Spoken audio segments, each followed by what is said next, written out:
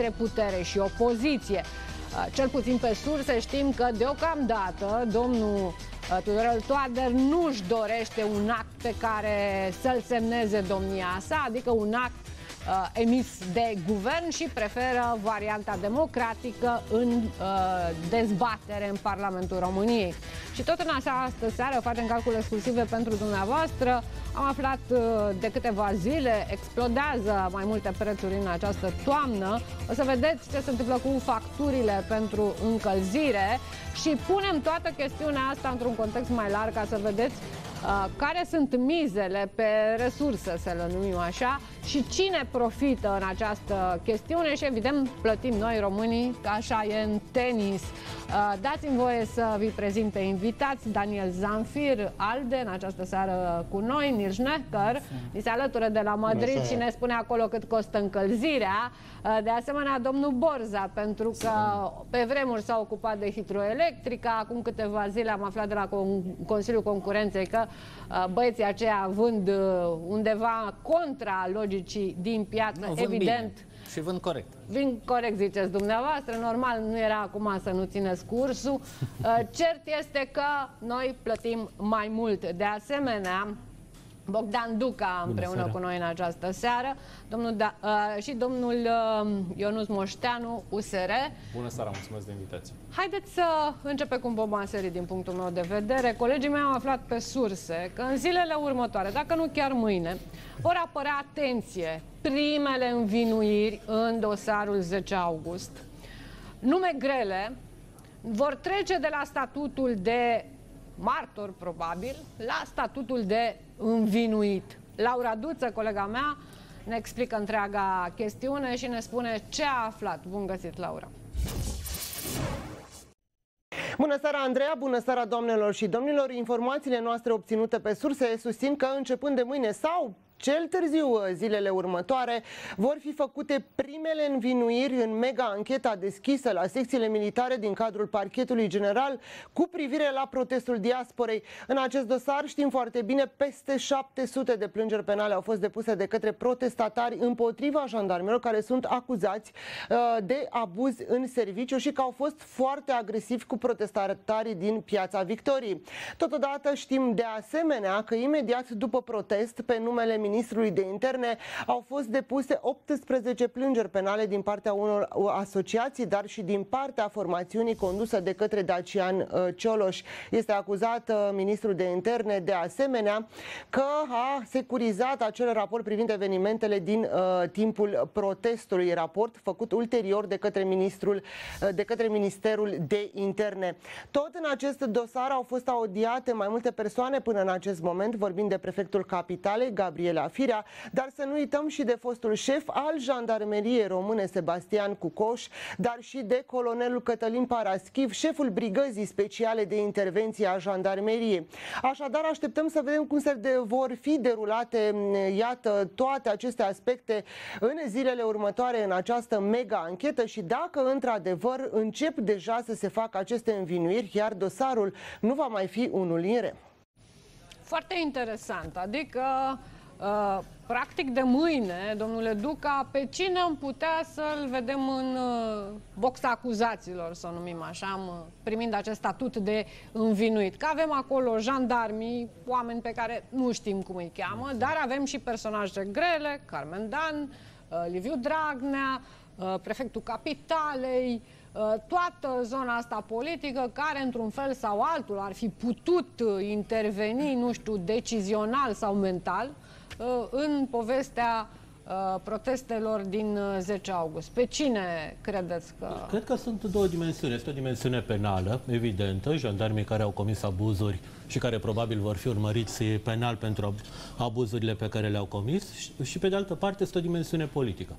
În momentul în care vom vedea pe ministru, pe prefectul capitalei, pe Liviu Dragnea chiar chemați și pus sub acuzare în acest dosar, transformați în inculpați, atunci clar intrăm în sfera politică, când intrăm în uh, sfera jocului politic și, sincer să fiu, nu înțeleg ce se urmărește cu acest joc politic, pentru că în, în logica jocului politic, în logica timpurilor pe care le trăim, Punerea lor sub acuzare, punerea sub acuzare a doamnei Carmen Dan nu face decât să o întărească ca lider politic în ochii uh, colegilor ei din PSD, în ochii propriului său electorat. Avem aici un reprezentant al USR-ului, din câte mi-aduc aminte, dumneavoastră ați uh, cerut uh, inculparea acestor oameni care, în opinia noastră, au avut... Cercetarea faptelor. Cercetarea. Pentru că ceea ce s-a întâmplat uh, pe 10 august este inadmisibil, este un lucru bun, iată Și că cine lucrurile se credeți că va clarifică. fi Asta trebuie să inculpat? facă, da, avem separația puterilor în stat și asta trebuie să facă procurorii și mai departe, apoi după Nu, ce da, au la intrat cine vă să gândiți ca judecători, target? Dacă, ne nu știu, gândim Carmen la- Dan, cine e ne cel mai gândim vinovat? la cei care au dat ordinele și aici sunt șefii jandarmeriei, șefii dispozitivului de acolo și, bineînțeles, Carmen Dan, care a venit special, a stat la și-a întrerupt concediu, a venit la minister și a venit special ca să supervizeze această acțiune. Au încercat să facă o scenare, nu le-a ieșit și uh, vor răspunde pentru asta cu siguranță. Doamna Carmen Dan, șefii jandarmeriei și o să vedem cine. Ați văzut că uh, de imediat de, după eveniment au început să se încurce în minciuni și avem pesediști care se acuză între ei, doamna prefect, cu doamna primar, cu doamna ministru, se acuză care minte. Deci asta, oamenii trebuie să afle care minte și care răspunde Pavel pentru ce s-a Abraham, întâmplat pentru atunci. că vreau să avem și opinia unui avocat în această seară. Este și dânsul în uh, direct cu noi. Bună seara, domnule Abraham, și Bună vă seara. mulțumesc că ați acceptat să Chiar șef al ne Poliției lămuriți. Uh, Cum se vor delu- derula lucrurile în opinia dumneavoastră? Adică atunci când vom venea, vedea aceste personalități chemate la, la parchet, nu o să mai aibă acolo pe citație calitatea de martor și o să se trezească cu uh, citația de învinuit? Pentru că am văzut câțiva chemați până acum. Uh, a fost prefecta capitalei, a fost uh, Gabriela Firea, uh, au avut statut de martor. Uh, acum să înțelegem că cei care n-au fost încă în- chemați, cum ar fi, de exemplu, doamna Carmen Dan, n-au fost chemați tocmai pentru că uh, procurorii s-au gândit la un alt statut? Nu, eu cred că așa cum merge discuția la dumneavoastră în studio acum, așa am văzut o primă luare de poziție, bănuiesc că este reprezentantul USR-ului, că a abordat problema unilateral și dimensionat, simțit, cum s-ar spune, spre jandar, de parcă ei ar fi fost cei care ar fi generat aceste tensiuni. Uh, Eu cred, uh, sincer, doamna Camer- Carmen Dan a prezentat ieri un raport, uh, eu aș spune magistral, pe momente, pe dispoziții legale în care a arătat cine și cum ar trebui să răspundă. Cred că, cum ați afirmat și dumneavoastră, este un timp rezonabil, circa 30 de zile de când au început cercetările și că inculpările vor avea loc în viziunea mea, în primul rând, față de unii pro- protestatari care au folosit uh, violența în mod uh, excesiv acolo și, sigur, au produs anumite prejudicii. Deci, în la această- noastră credeți că inculparea va fi la, la protestatar, deși să știți că e la un alt parchet uh, civil, nu la cel militar. Nu, nu, deci trebuie văzut. Acum nu intrăm în competențe, dar... Păi nu, informația noastră vine din zona asta unde protestatarii au depus plângerile, sunt vreo 700 de plângeri și informația noastră pe surse că după, adică de mâine încolo, vor veni și învinuirile. Și curiozitatea noastră, și de aceea am apelat la specializarea Atunci- dumneavoastră de avocat, cine o să fie Corect. învinuitul? Atunci adică când cine? vin în Carmen concurență- Dan, Dragnea, prefecta... Nu, nu, nu, nu, nu, nu, nu, nu. Aș vrea să aveți în vedere că aici nu mai țin, uh, știu eu, partipriurile și poziția noastră subiectivă față de unii și alții după înfățișare, după uh, uh, ce uh, um, entitate reprezintă. Deci este vorba de lege. Vor fi cercetați și sunt cercetați sub aspect penal cei implicați nemijlociți pentru care legea stabilește anumite obligații și se va stabili dacă le-au utilizat cu bună credință la nivelul prevăzut de lege sau au fost excese care vor fi penalizate după caz disciplinar, material, civil sau chiar penal.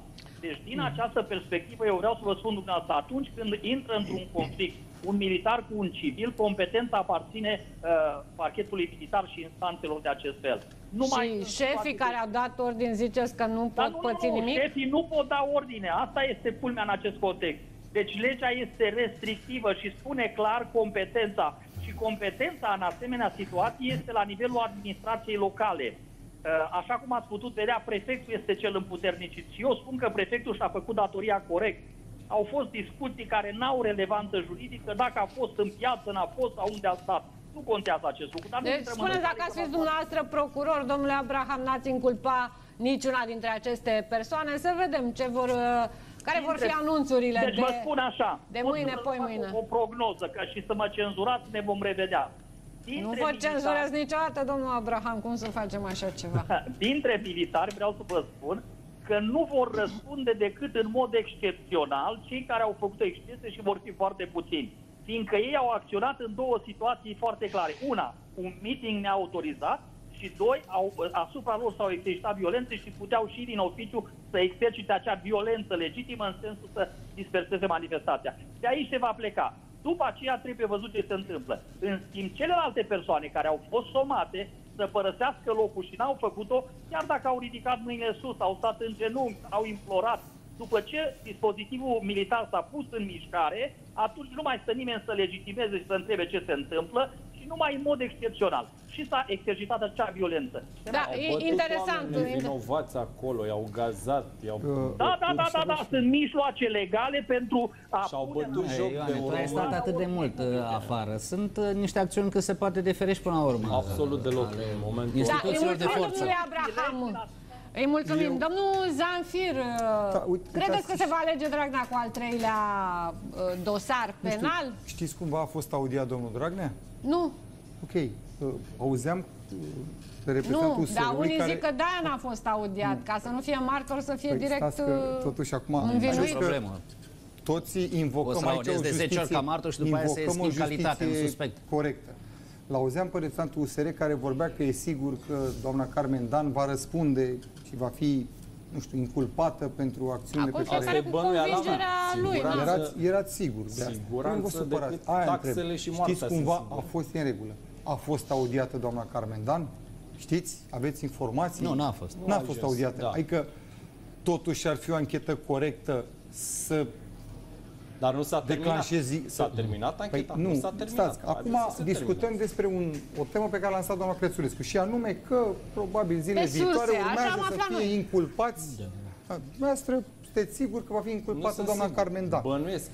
Mă rog, nu, chiar v-ați exprimat că sigur va răspunde. Dânsa- Bine, dacă bănuiți. Acum, Dânsa a dat comanda politică. vi se pare normal să fie inculpată o persoană într-o, ju- într-o țară unde clamăm o justiție, că vrem să avem o justiție corectă, vi se pare normal să fie inculpată o persoană fără ca măcar să fie audiată? Nu s-a terminat instrumentarea dosarului. Las că n-am ajuns la final. A, deci, acum discutăm alt. Păi, Plus că mai e asta ceva. discutăm. Uite, nu v-am auzit uh, vorbind nici pe dumneavoastră, nici pe domnul Duca, n-am făcut referire, referire și la cealaltă parte. Adică, până la urmă, am văzut cu toții că au fost și niște descreierați care dădeau cu bolovani în capetele jandarmilor. Pe care jandarmii puteau să-i scoată de acolo și n-au făcut nu, asta. eu discut de acțiune. Încă o dată, dacă un descreierat dă cu piatra în capul jandarmului, aia e o faptă penală. Trebuia să-l ia pe descreratul Nu ăla că de trebuia acolo, să-l nu ia, să nu, nu, încazeze nu. 100 de Până mii de să-l oameni. ia, până să-l ia, până să-l ia de acolo, când a dat cu piatra în cap, deja a comis o faptă, o faptă Absolut. penală pentru că este... Deja, domnul Zanfir, dați-mi voie să vă uh, precizez, poate nu știți, sunt uh, aproape 10 dosare penale în sensul ăsta, cu statut deja de inculpat pentru cei E în cu regulă, piatra. deci iată că La sunt... parchetul Nu civil. la un alt- vorbea E nimeni, normal să fie Parchetul așa. nu civil, vorbea nu la nimeni și cel- de uh, Nu, chestia sunt sigur. deja, e Dom'le, știre de jandarmii săptămâna care trecută. Da, E dă știre 10 de din săptămâna capul descrerați ăsta să au încazeze apucat să- 100 de mii de E, oameni. dar acum noutatea care am aflat-o noi este că și în zona aceea unde protestatarii au depus plângeri, de mâine încolo să ne așteptăm la Acum, niște doamna Crețulescu, dacă îmi inculpări. permiteți, ca avocat care E- vreo 20 de ani a mâncat o pâine uh, practicând uh, penalul, uh, îi dau dreptate parțial generalului uh, Abraham. Răspunderea aici nu poate să fie decât una individuală, personală, în dreptul acelor subofițeri de jandarmerie care au acționat disproporționat. Are dreptate senatorul Zanfir uh, când vorbește de această acțiune de provocare uh, de instigare la violență, de ocuparea unei uh, clădiri, a unei instituții uh, publice reprezentative pentru națiunea română. Sigur, uh, prezența procurorului uh, șef al parchetului militar București în seara zilei de 10 august în piața Victoriei, cel puțin mie mi-a creat certitudinea că de fapt asta se va urmări uh, capul lui Dragnea, lui Carmen Dan, a prefectului și altor uh, uh, oficiali.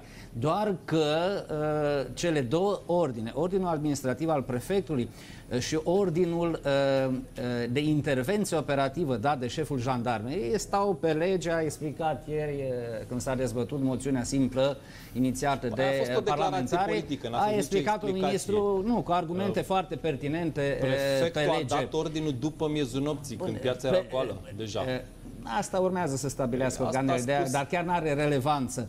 Uh, ordinul prefectului, ordinul șefului operativ al jandarmeriei sunt cât se poate de legale. Unul era un meeting neautorizat, Vom chiar autorizat fiind după ora 11. Vom vedea, vom vedea, domnilor. Să vedem Trupele de mâine, să jandarmi așteptăm puteau să mâine, să intervină. așteptăm mâine. Am, Am făcut fost cu prima toții în Europa, dezbatere. prin America, în genul ăsta de Am manifestări înțeles. să intervină, Ah, să este intervină interesant cu Prima. forță. Manifestația de la uh, Domnule Madrid Zanfi. Pentru că, e foarte... do- doar o singură uh, frază mai spun. În ordinul prefectului sau în ordinul uh, uh, dat de șeful jandarmei nu se spune și modalitatea concretă de inde. Băi, spargeți-le capul, omorâți-i, băgați-i la spital. Nu știu dacă pr- p- uh, Deci, procurorii evident, gândesc la acolo fel se ca dă doar dumneavoastră, un ordin dar de intervenție, repet, de evacuare și de repet domnule restabilire a Borza, ordinii și liniștii repet domnule publice, Borza, într-un spațiu informație, public. informația pe care o avem noi aici, uh, în Admitem că zilele se va începe următoare, urmărirea penală nu înseamnă că va în ține zilele o următoare, atare domnule acuzare. Borza, Se dacă va da vorbim unul clasare. peste altul, nu pă, se înțelege. Vreau să precizez jurnalistic. Informația este că uh, vom asista și la anumite învinuiri, adică se va schimba statutul unor persoane. Înainte să merg și la Nils, aș vrea să vă mai arăt uh, dintr-o anumită zonă, unii o numesc zona propagandei, uh, unii jurnaliști vorbesc de o adevărată apocalipsă care s-ar putea declanșa tot începând de mâine, poi mâine, dar în zona justiției, iată ce spune Ioana N. Dogioiu. Dragilor, fiți pregătiți, se va întâmpla ceva foarte rău în sistemul judiciar. O judecătoare mi-a spus astăzi că se așteaptă la arestări de magistrați ca în Turcia lui Erdogan. Urmează ultimul asalt, mi-a spus un alt magistrat cu funcție înaltă. Nils, uh, apocalipsă. Are informații doamna Dogioiu din două surse uh, că se va trece la arestarea unor magistrați. Am mult prea În mult, ce uh, cheie să citim chestia asta? Am mult prea mult respect pentru meseria pe care tu și cu colegii noștri din România uh, TV o faceți în jurnalism pentru a mă lua după ceea ce spune Ioana N. Dogioiu și pentru a încerca să înțeleg mecanismele provocatoare pe care vrea să le folosească și care, într-adevăr, în știința comunicării, ele sunt menționate ca mecanisme de propagandă negativă și de provocare. Cred că este uh, același lucru pe care îl auzim de atâta timp. Respectiv, actuala guvernare nu vrea decât un singur lucru, să dărâme justiția, să pună mâna pe justiție, să devină stăpân pe justiție, să scape criminalii de dosarele penale și uite tot așa, ăsta este light motivul pe care noi îl auzim Păi tot acum timpul. amnistia Să și scape grațierea momentan asta ce-or fi speriați. Nils? Acum să merte Dumnezeu, amnistie și grațiere ce înseamnă? O secundă, o secundă, o secundă. Știu că sună bine, știu că este ceea Nu ce sună toată bine. lumea... Întâmplător, Nu, dacă nu. citești ce Adică în înseamnă, sensul că- nu sună deloc bine. Nu, nu, sună bine în sensul că sună bine apropo de a justifica aceste uh, provocări. Dar, în primul și în primul rând, eu încă nu am văzut un text de lege pe acest, uh, sau un, o propunere de text pe acest subiect. În al Nici nu doilea se rând, vedeți. Este, Cred că- este a, trecut, Da, uh, a trecut prin Senat, bine așa tacit, este proiectul de Aia e o lege invocat, caricatură. invocat de ministrul Nu Justiției. grațiază Pe care pe poți să- nimeni. pe Nu care- grațiază? repet, Sunt acel 87 text nu de grațiază infracțiuni pe nimeni. exceptate, Pe care inclusiv Tudorel poate să pună conflictele, oricând un abuzurile în amendament. serviciu, Domnul Borza. inclusiv și falsele Domnul care sunt Borza. Drogul de pedepsite cu sare- închisoare de la drogul 3 de luni la sare 3 ani sau este amendă. într-adevăr- Adică nu grațiază pe nimeni, e o drogul de poveste. Sare... Păi drogul și de restul sare de este... încă 200 La de pușcărie, infracțiuni. doamna Crețulescu. Drogul Stați de sare puțin. este foarte Doamna frumos Pușcărie. și la noi funcționează foarte bine. Avem acest uh, Nu, nu, uh, dar stai acest Nils, că element. a, a provocat deci, domnul Nicolice a avocat dat anul Borza. trecut, a Ascultați-mă trecut un un pic. proiect prin Senat, să nu Domnul zică că nu Borza, promovează un proiect domnul de... Borza, când vă mai invit în emisiune, haideți să nu vorbim unul peste altul, că nu- cei de acasă nu ne înțeleg. Deci, deci noastră spuneți așa, în proiectul aflat, care a trecut aici prin Taci, Senat, da. Poate să confirme, domnul Sunt senator. ex- exceptate 87 Corect. de infracțiuni și sunt acceptate câte? Ni- aproape nimic. Cum aproape? Că avem vreo 300 de Am infracțiuni în înțeles, codul deci toate penal. infracțiunile Doamna legate de cele corupție, fără luare nuanță. de demite, conflict de interes, abuz, atenție la, trafic atenție de la traseul influență, parlamentar. Deci, i- odată infracțiune ce- de violență, Domnul infracțiune Borza. de trafic de orice, inclusiv falsurile, falsul material în scrisuri Odată oficiale, ce- falsul în scrisuri o- private, do- toate sunt exceptate. Odată ce proiectul este în traseu parlamentar... Inclusiv infracțiunile economice, de Domnul înșelăciune, de Borza. evaziune, de spălare de bani. Odată ce pă, proiectul este în traseu parlamentar, oricând poate fi băgat în Sigur, comisie, oricând sigur. se polipi amendamente Camere de el. decizională, într-adevăr, merge la este vot. Camera Deputaților. Deci Dar este- câtă vreme a trecut anul trecut, în 2017, la Senat, iată. acolo și cu Nu se Florin grăbește nimeni să Iordache, vină la Domnul Câmp la politician, cameră în dezbatere. oricând, Domnul Borza și oricând stimate poate fi domnule băgat în comisie. politician, Da. Dacă mi se permite și mie de la distanța aceasta de câteva mii de kilometri să-mi termin ideea, măcar din respect, atunci am să vă explic un lucru.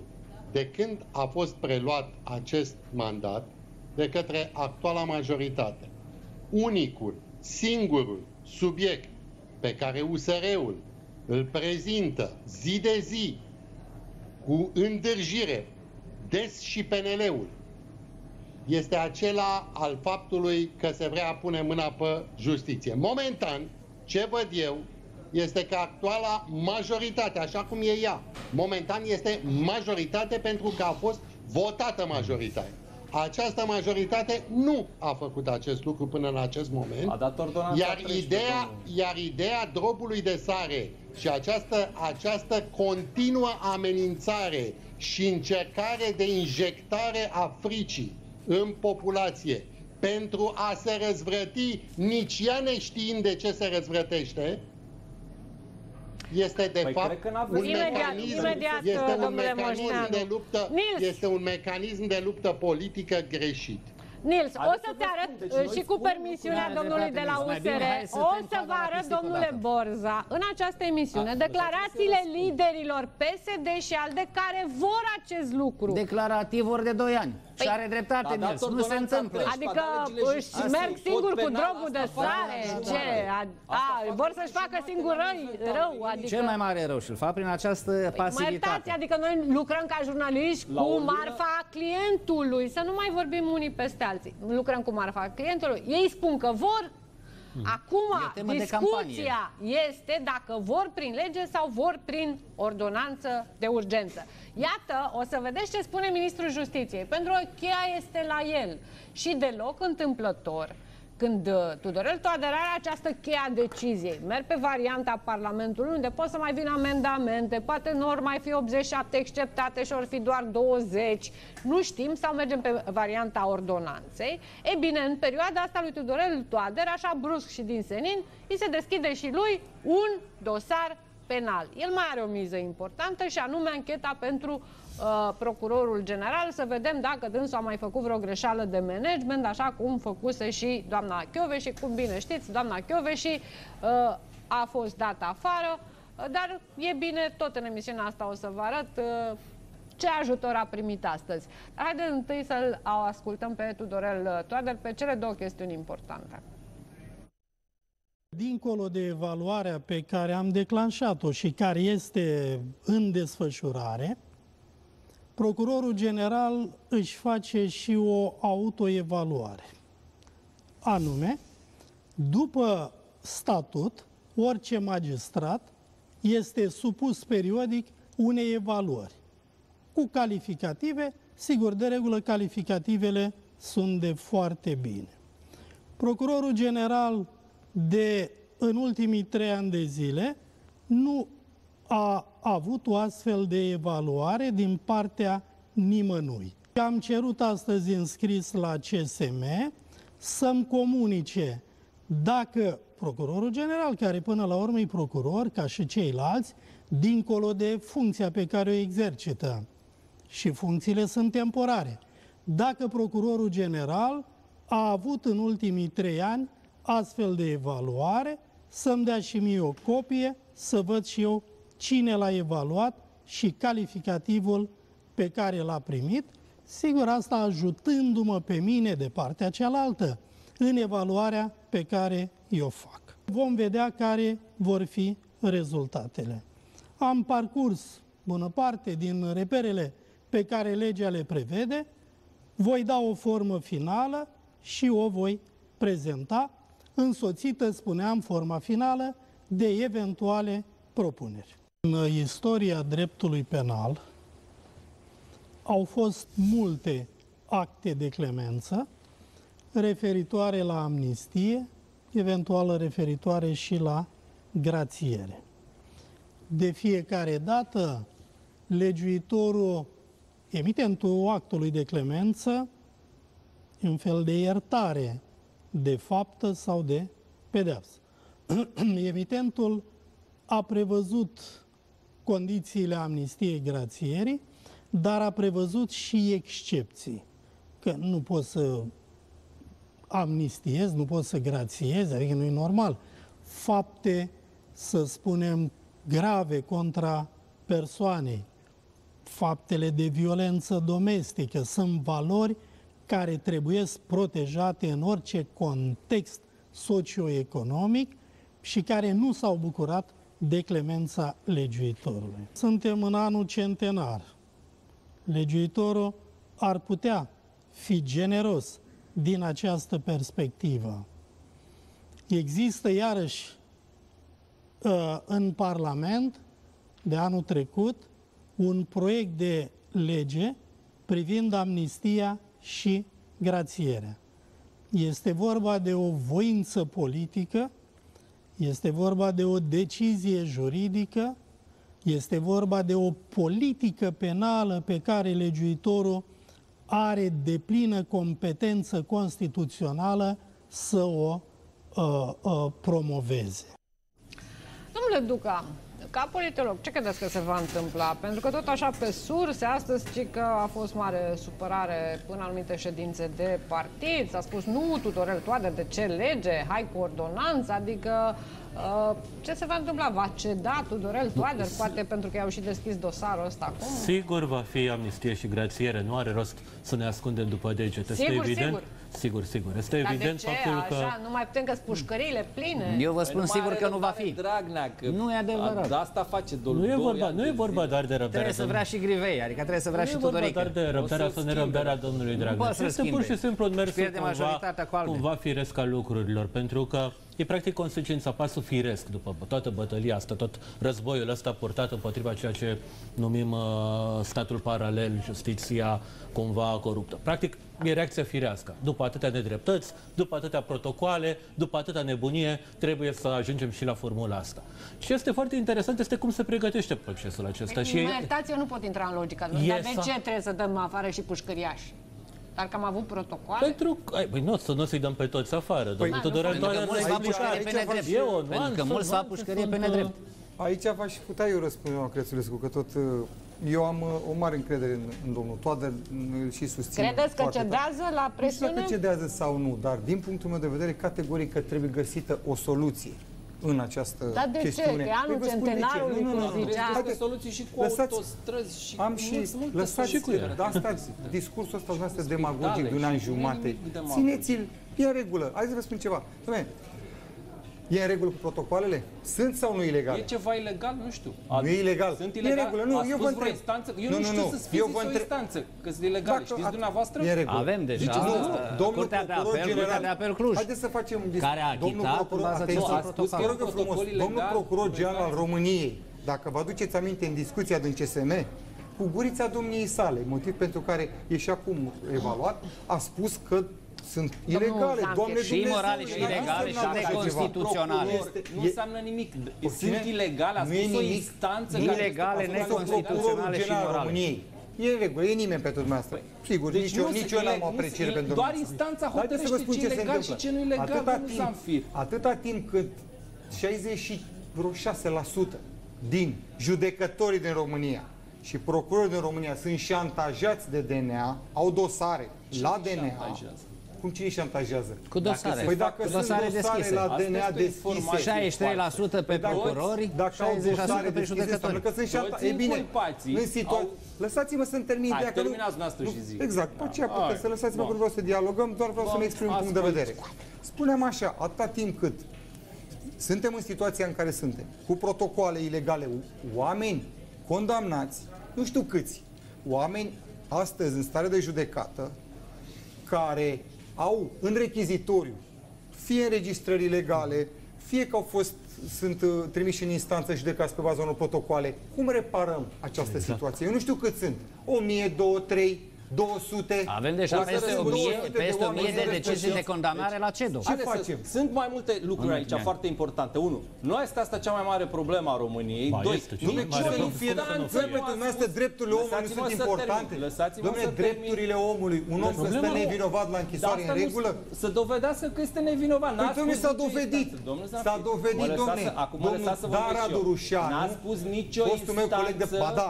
Că protocoale sunt ilegale. Asta spuneți Ce vorbiți, dumneavoastră. domnule? Păi unde Domnule, e? domnul Ce? Dan Radu Rușanu a stat Dragnea din două a săptămâni. semnat- Curtea de Dragnea apel a Cluj fost- tocmai a dat Dragnea a decizie în semnat sensul protocol când era ministrul Nu dezvoltării. are nicio legătură. Da? Deci Uitați, sunt niște mii de știți, protocoale nu mai peste face tot. scântei Dar nu-i cu normal. chestia asta. Nu are Dar nu-i legătură. normal. Protocolul are Nu-i nicio normal. legătură cu ce a semnat Maior. Asta este o, o perdea de fum pentru că Dragnea vrea să-și dea amnistia și grațierea ca să scape de aveți o pușcărie. obsesie. Păi nu O- asta Îți era dau la o veste N-are bună, Ioan, legătură. nu După o ce să ați dea. ajuns la putere, Nu o să o dea. Dom'le, da, După o lună da, de atâția zile oameni care stau nevinovați. Imediat, imediat. Nu o să fie în stare să o dea. N-am o mai... Nu, De ce întreb, stai, dacă- Nils, o secundă, de ce domnul Borzan Deci eu nu o pun să pariu fie cu în stare să dumneavoastră dea? că nu o să avem niciodată o ordonanță pe amnistie și grațiere. De ce? Pentru că trebuie promovată de Ministrul Justiției. Ministrul Justiției Tudorel Toader nu o va face, Trebuie cum o pentru luăm de că la nu-i zero, profită, sau un nu-i secretar de profită, stat. nu-i Domnul profită Borzan a celui spus că nu o care va l-a face. Hai, propus și îl susține și sau azi un secretar de președintele stat, dacă Tăricianu. ministrul de justiție- Este principalul contracandidat al lui Dragnea. Ori Dragnea trebuie scos din cursă. Uh, sigur, rămâne varianta uh, promovării unui act uh, normativ, adi- adică unei legi în Parlament, dar asta e cale lungă, moarte sigură. Între timp, într-o lună, două, se judecă apelul lui Dragnea și la tăia de stuf în delta Dunării. Uh, pentru că voi o să Aveți contestați ceva la cu Curtea Dragnea, Constituției. că-l vedeți așa la stuf? Nu, chiar nu-mi doresc. uh, iar Eu am uh, tot timpul uh, am- Îmi place public, cum gândiți, să știți. Domnul Moșteanu, Îmi place nu, cum gândiți. nu sunt de acord cu această campanie de demonizare a lui Dragnea. Pentru că Dragnea nu e mai Păi el a rău dus decât țara alți asta în lideri gard. politici de la partidele de dreapta sau de e oriunde ar fi. foarte rău Din să punctul meu de câștigi vedere, puterea chiar să îl vrei să scapi de compătimez. pușcărie. Chiar îl compătimez. Da? Ăsta e un scenariu și hai să fim realiști. Un proiect Hai de să lege trecut guverneze prin cele țara. două uh, camere, Senat, cu toate dezbatere, o lună, două, după care îl contestați la Curtea Constituțională o lună, două, se mai duce și la președinte, îl trimite înapoi la reexaminare, trece anul. Între timp, ura și la gară cu președintele Dragnea. Haideți să vă mai arăt ceva. Trecem de contextul ăsta care cu siguranță va genera multă emoție publică și cred că românii vor fi atenți la povestea asta cu amnistia și uh, grațierea, dar nu trebuie să ignorăm nici buzunarele noastre, adică viața de zi cu zi. Am aflat cu toții, gazele au crescut cu 16% în ultimele uh, 8 luni, vor mai crește cu încă 5%, facturile la încălzire uh, pe care de consecință cresc și ele semnificativ. Haideți să vedem o analiză, după care uh, vom comenta aici ce ne așteaptă în această toamnă, ca să vă faceți niște calcule importante. Suntem nevoiți să ne aliniem la prețurile europene pentru că am greșit din capul locului direcționarea problemei gazelor românești. Avem o problemă deosebită aici pentru că am fost atât de superficiali și atât de puțin interesați de soluția pentru gazele românești încât practic noi am ajuns o țară consumatoare de gaze cu toate că suntem producători de gaze. Și atunci sigur că de unde am avut 24 de eurocenți undeva în 2014, am ajuns în 2017 la 31. Acum, ă, acești eurocenți se referă la metru cub de gaze. Pentru că eu discut în metru cub și nu luăm pe kilovați, pentru că kil- la noi acasă contoarele sunt în metru cub și e foarte greu să fac această traducere, deși e ușor de făcut, dar nu vreau ca telespectatorii să aibă o confuzie aici. E, noi am ajuns ca să avem de la 36 la 40 o creștere asta de 16%. După care prețul gazelor pe Europa este undeva la 61-63 de eurocenți. Ăsta este un preț mediu, care în diverse țări variază de la 71 la cele mai scumpe până pe la 40. Dar ce face Eurostatul și aștept acum să apară uh, calculul Eurostatului este față de puterea de cumpărare. Și ajungem între primele locuri în Europa la puterea noastră de cumpărare, la prețul gazului. Raportat la puterea de cumpărare e cel mai scump aproape. Evoluția asta va duce la 2 lei până la sfârșitul anului. Hai să vedem cum, cine este interesat efectiv direct de această treabă. Ajungem la ordonanța Guvernului 7, dată în 2013 de Victor Ponta, care spune că dacă gazele la producție sunt peste 85 de lei, megavatul, adică cam peste 82 de lei, 82 de bani metru cub, 80% din prețul de producție este impozit. Acest impozit se duce ca taxă la guvern. Taxele care nu sunt previzionate și prinse în buget sunt taxele care compun, ați ghicit, fondul de rezervă al guvernului. Deci, dacă crește Dați prețul puțin că foarte doamna tare, Dăncilă- se completează fondul. Doamna Domnule Dăncilă parcă ne anunța zilele trecute că l-a terminat fondul de rezervă. Păi și îl compensează. Uite, găsim o soluție să compensăm. Scumpim gazele și intră niște bani acolo. Mai, da, mai apare și o altă problemă care este, pentru că noi am pierdut gazele din Marea Neagră. Gazele din Marea Neagră nu fac parte din legea offshore-ului care se gândește acum, că ele nu se aplică retroactiv. Putem să punem orice taxă vrem în legea offshore-ului. Gazele din platforma Delfinu și platforma Pelicanu sunt ale lui Sterling. Păi în contract ți-a spus că îți dau atâta cât a ieșit în varianta Senatului. Atâta îți dau. Nu vrei, te dau în judecată, mergem în tribunal și o să plătești ca lui Gabriel Resources pentru povestea cu Roșia Montana. Acolo plătim, pentru că noi am avut un contract acolo, nu am respectat. Deci va trebui să respectăm contract. Deci pe gazele din mare nu punem cont. Auzi, Ioane? Ia, Dragă ți carnea. Dragă, e mai bună ca aerul, omule bun. Normal că mi-e dragă. Păi există om pe fața pământului să poată apuca de treabă pe stomacul gol. Păi eu n-am energie să mă dau dimineața jos din pat, mă, până nu mi-a un tit de carniță, o șuncă, o salam. Dar și după ce am îmbucat de două ori, munții i-aș muta din loc. Așa putere prind că umblu cu mioarele pe Pentru toți iubitorii de carne pofticioși de viață. Alege produsele cu multă carne de la Cristin. Carne cu garnitură de carne și un pic, un pic de salată. Bine că nu te-am întrebat de politică. Din nou în direct, doamnelor și domnilor, aici întrebarea esențială, Nils, la când să ne așteptăm în privința creșterilor uh, iarna asta, că nu o să consumă mult pentru încălzire. Că iernile în România, spre deosebire de Spania, sunt un pic mai friguroase. Asta vreau să-ți fac aceeași comparație, cu toate că aici prețul pe metru cub este 66 de cenți, uh, costul la un apartament de uh, mediu de 72 de metri pătrați este undeva la 350-400 de euro pe an. Pe an. E cald. Pe an. Așa Da. e. Păi și gândește-te care Așa e că- salariul mediu în Spania, Spania, spre exact. deosebire de România, de vreo patru ori mai mare, nu, vreo trei ori mai mare. Adică... Salariul mediu în Spania Deci acum este a, undeva am tras la bețișorul scurt în condițiile în 1800, care noi avem 1700. resurse. Am tras bețișorul scurt. Vezi, tocmai de, aceea, tocmai de aceea este important ca să lămurim și aici chiar și din punct de vedere a unui om de dreapta, ce mă consider, trebuie totuși uh, ținut seama și de necesarul intern al gazelor. Este într-adevăr uh, un mare păcat ca o țară să aibă resurse pe care să le poată utiliza și să nu le utilizeze. Să Păi de ajungă ce nu să le folosească utilizăm? Nu vor? produse din Că import. noi avem E industrie, același lucru că l-am trimis ca la și în pușcărie pe agricultură. Nicolae. Și Doar am închis că, patru doar combinate că care aici, mâncau 5 miliarde de metri cub.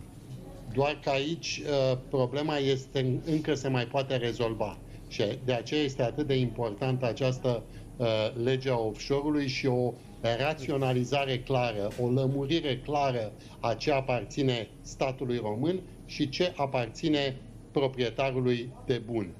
Proprietatea este inalienabilă, dar atâta timp cât vorbim despre niște resurse naturale, în orice țară, cea mai capitalistă dintre toate Statele Unite, există acest concept în care statul își rezervă niște drepturi. Și aceste drepturi, din păcate, de-a lungul uh, celor 30 de ani, noi nu am știut să ni, Domnul, uh, domnul să Zanfir, ni luăm. păi și noi până 20 rezolvăm de ani. asta cu offshore-ul, o să plătim de o să bubuim în iarna asta. Uitați ce se întâmplă. În fiecare, la fiecare început de iarnă avem aceeași discuție. Păi, Da, Că vrem, din păcate crește- în fiecare iarnă Da, crește din prețul păcate. gazelor, Eu- că altfel este- n-am avea-o. Da, sunt de acord cu asta. Și este când ai, uh, practic, monopol la gaze. Da? Spunea domnul Nils Necker despre Spania. Domnule, prețul ăla de care vorbește domnul Nils Necker și uh, are perfectă dreptate că și eu cunosc foarte bine Spania, e, e în condițiile în care Spania nu are un metru cub de gaz. Spania nu produce și gaz. nu știi ce mai proști, mai hoți, mai cum Doamnă, sunt. Haideți să Cuvântul mai stăm hoț îmi place. Dacă stăm acum să dezgropăm tot Păi ce nu, s-a că tot făcut, facem amnistie tot ce s-a acum, da. făcut greșit până acum, eu cred că nu ăsta este nu asta este calea. Avem, așa cum spune Și domnul Jnecă, calea era domnule, noastră șansa la este al una. de PSD. Doamna, da, Crețulescu, o secundă. Avem chiar o șansă cu adevărat Păi istorică. sunteți în la momentul ăsta. guvernare și de Păi ce ne sunt- măriți facturile? Păi Asta e stați. întrebarea. Eu vă spuneam că suntem astăzi într-un moment în care Greu. discutăm despre legea offshore și da, este Dar o lege în vă care, cheamă Dragnea într-adevăr... la discuții? Nu, aveți Vă cheamă? puțin, poftiți? Vă cheamă Dragnea la discuții cu OMV și cu Exxon? Că Nu sunt știu numai despre pe ce alb în vorbiți, birou. nu știu, pe mine A nu fost mă azi cheamă toți. Dragnea. EONul, Săptămâna Enelul, trecută. Da, Exxonul, OMV-ul. Păi și știți Dar ce de ce au până fost una acolo? alta, Haideți până să fim una serioși. alta, dumneavoastră de la USR, Sintetizați. dincolo de... Ce Cu cine ar trebui să aibă? Dacă Cu mă Peco? întreabă de vorbă Haideți să Dragnea vă- dacă sunteți la guvernare. Doamna Crețuiesc, am o rugăminte. Nu vreau să răspund 10 domnul Moșteanu. Pot secunde. să vorbesc? Adică vreau să-mi exprim o Asta părere. rugăm Nu vreau și să eu. dialoghez, dialoghez cu domnul Moșteanu. Bun, Vreau luăm doar să- publicitate, ca să fie mai simplu. Uh, după publicitate, doamnelor și domnilor, continuăm și acest subiect și după o să vedeți și ce cadou a primit astăzi doamna Chioveș și dacă o mai țineți minte, e în acțiune. O să vedeți de ce. Ce faci, Ioane? Violarea! Da, tu! Eu fac încălzirea. Pentru toți iubitorii de carne pofticioși de viață, alege produsele cu multă carne de la Cristim. Ești părinte. Investești în sănătatea și în educația copilului tău. Viitorul depinde de el. Prezentul depinde de tine. Cere farmacistului Catena cardul Mama și Copilul și ai 25% reducere la peste 100 de produse. Farmacia inimii Catena. Simptomele au apărut după naștere. Hemoroizi. În continuu dureri. Nu știam ce să mai fac. Noroc cu mama care mi-a zis de Proctinum cremă. Proctinum cremă asigură reducerea durerii cauzate de hemoroizi, a senzației de arsură și prurit. Chiar a calmat durerea. Acum pot să mă concentrez pe lucruri mai importante decât problema hemoroizilor. Proctinum cremă. Gata cu durerea. Știți ce am auzit la farmacie? Niciodată să nu-mi curăț urechile în interior cu bețișoare, deoarece acestea sunt doar pentru uz extern. Pentru igiena urechii, eu folosesc Acustivum, spray auricular. Acustivum conține uleiuri naturale ce facilitează dizolvarea și eliminarea dopurilor de ceară și menține igiena canalului auditiv. Acustivum, pentru o igienă corectă a urechii. Acustivum poate fi utilizat și la copiii cu vârsta de peste 6 luni. Fetelor, trebuie să mă duc chiar la... Pe Zica din nou? Ai încercat noul produs Uronat Gold? Ingredientele din compoziția Uronat Gold contribuie la funcționarea optimă a sistemului urinar. Acesta este un supliment alimentar. Citiți cu atenție prospectul. Caută acum în farmacii pachetul promoțional Uronat Gold, plus emulsie hipoalergenică pe bază de extract de merișoare pentru igiena intimă cadou. Pornește în viață cu un salariu de invidiat și vizitează lumea la cârma unei nave. Colegiul Nautic Român te școlarizează și îți oferă un brevet britanic cu un salariu de debut de 2000 de euro.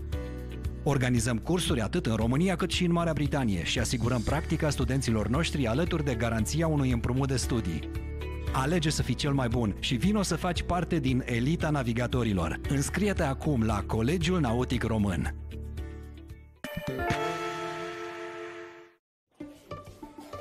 Prurit persistent în zona scalpului chiar și în timpul somnului. Acesta poate fi cauzat de musafiri nepoftiți precum păduchii.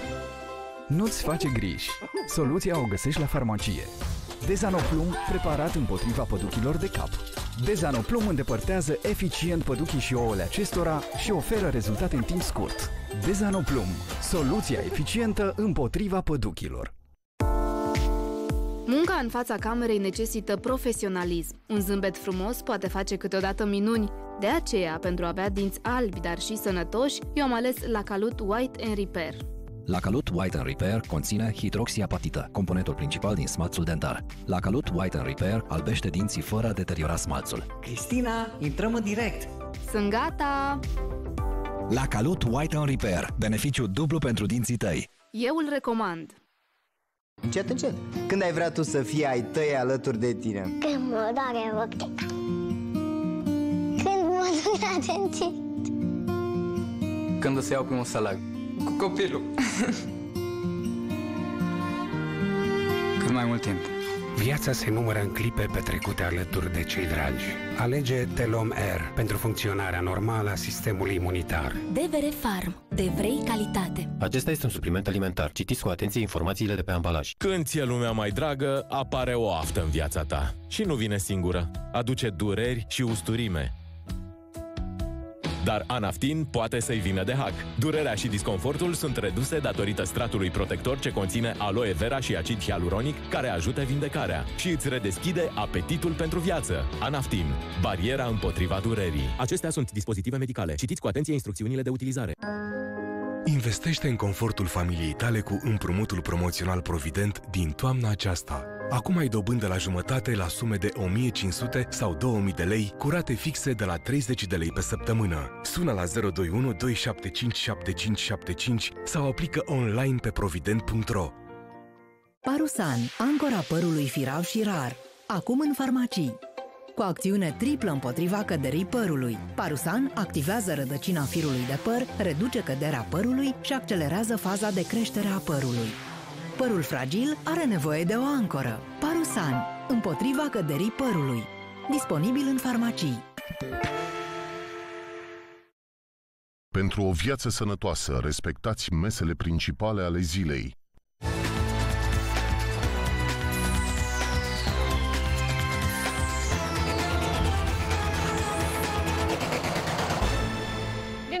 Direct, doamnelor și domnilor. Ei bine, doamna și primește astăzi un ajutor nesperat de la foștii săi aliați, mai exact. CSM a amânat decizia în ceea ce o privește pe fosta șefa DNA-ului. Astăzi a fost audiată în scandalul înregistrărilor din cazul decapărilor. Vă amintiți, celebra casetă. De altfel, procurorii loiali din DNA, evident loial doamnei Chioveși, au mers să o apere și s-a găsit soluția amânării. Loredana Salomia vine chiar acum cu toate informații. Bun găsit! Astăzi Laura Codruța și a fost audiată în cadrul secției de procurori în materie disciplinară a CSM, iar după audieri, iată că CSM a decis să amâne pronunțarea. Vorbim despre acțiunea exercitată de Inspecția Judiciară pe numele lui și cu privire la înregistrările în cazul decapărilor. Au fost astăzi analizate SMS-urile trimise de și către alți procurori din DNA, în care îi numea pe aceștia și citez lași, bârfitori și trădători. și nu a fost însă singură, ci a ajutat astăzi de trei procurori de elită care au mers să o apere pe fosta șefă de nea la CSM. Vorbim despre Paul Dumitriu, Marius Bulancea și celebrul procuror Jean Uncheșelu, ei fiind de asemenea audiați astăzi. Iată însă că decizia nu a fost luată de uh, către secția de procurori din cadrul CSM. Urmează să vină și această decizie, însă cert este că după audierile de astăzi, Laura Codruța și nu a primit deocamdată nicio decizie din partea acestora. Mulțumesc foarte mult pentru informație, domnule Moșta. Nu vă întreb așa direct. Când te aude toată țara că zici de capac până la premier, adică dai ordin, nu ți se întâmplă nimic uh-huh. mai bine de jumătate de an. Adică totuși statul ăsta trebuie să funcționeze. Aveți vreo explicație? Sunt explicația trebuie să o dea cei uh, care instrumentează cazul ăsta și care strâng dovezi și care trebuie să dea o rezoluție în final. Nu este nici primul, nici ultimul. Asta întâmplător e o instanță mai specială, să spunem așa, însă avem instanțe care au amânat de nu știu câte ori, ani de zile, uh, verdicte importante pentru bunul Și nu vă îngrijorează lucrul ăsta? Că pare așa că țin partea doamnei Chioveși și vor să o scape. Eu cred că uh, trebuie să mai strângă probe. Nu, doamna Ce să mai n-auzi, n-ați auzit cu urechile noastre, decapați până la premier. În fiecare breaslă e solidaritate. Știți, e vorba aia, corul la corn, corul la corn nu scoate ochii. Dar nu vreau să ne, ar fi greșit să ne transformăm noi în judecători, în inspecție judiciară sau mai știu eu ce. Dar există acele instituții, păi, haideți să avem încredere în ele. Dacă nu funcționează, trebuie să reformate. Nu mai păi poți avea încredere în justiție în momentul acesta. După toată povestea cu înregistrările, cu protocoalele care au fost dezvăluite, cu toate combinațiile care există între serviciile secrete și justiție. Toate dezvăluirile cu privire la magistrații care au dosare penale, deci sunt șantajabili. Magistrat. Știți foarte da, bine că multe dosare se amână tocmai pentru a se pune presiune pe anumiți politicieni, pe anumite personalități. Deci toți oamenii condamnați își dau un judecat de judecător. Judecătorul care a condamnat asta se întâmplă. Nu, nu, Acum, nu, instanța trebuie să deschidă dosarul, să cerceteze. În, în realitate nu se întâmplă nimic. În momentul că... acesta, România are clar o problemă. Nu mai, pot, nu mai poți avea încredere în, în ceea ce numim justiție și uh, ceea ce numim justiție, înțelegem greșit, pentru că una este puterea judecătorească, o realitate pe care o învățăm în manualele de cultură civică din clasa 5-a, dacă facem cultura civică, altceva este melanjul pe care noi îl numim justiție și folosim termenul justiție uh, acum la televiziuni și peste tot. Procurorii nu sunt justiție, nu sunt partea puterii judecătorești. Corect. Cum într-un mod absurd s-a ajuns la, la de soluția asta de a-i face pe toți magistrați și a-i băga pe toți în același, da. în același, în aceeași... Ei nu sunt independenți, doar judecătorii. Care pe mine mă uimește. fără răspundere, fără exact. responsabilitate. Sunt total neresponsabilizați. Dacă un procuror...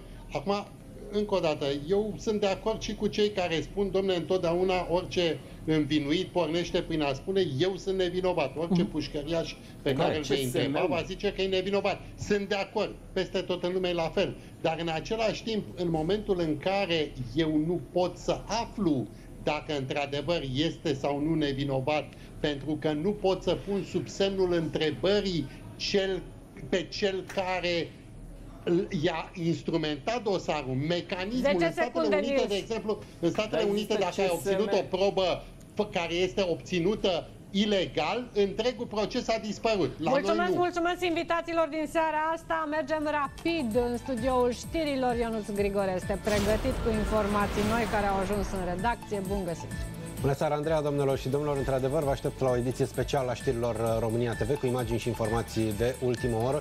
A avut loc o tragedie la o biserică unde au fost momente cumplite. Detalii imediat când vorbim și despre finanțarea protestelor și vedem ce a aflat președintele Iohannis.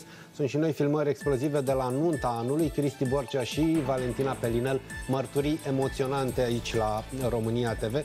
Pe de altă parte, discutăm și despre o tragedie cu cinci victime și să urmărim imaginile șocante.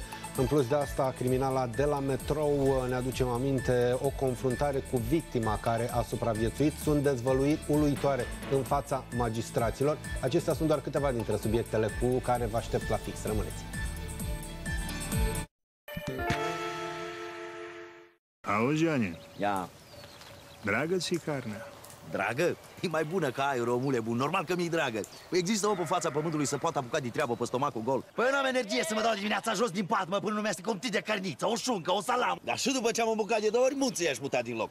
Așa putere prind că umblu cu mioarele pe Pentru toți iubitorii de carne pofticioși de viață. Alege produsele cu multă carne de la Cristin. Carne cu garniture de carne și un pic, un pic de salată. Bine că nu te-am întrebat de politică. De cazi găsești alinare. O mână tandră, ocrotitoare.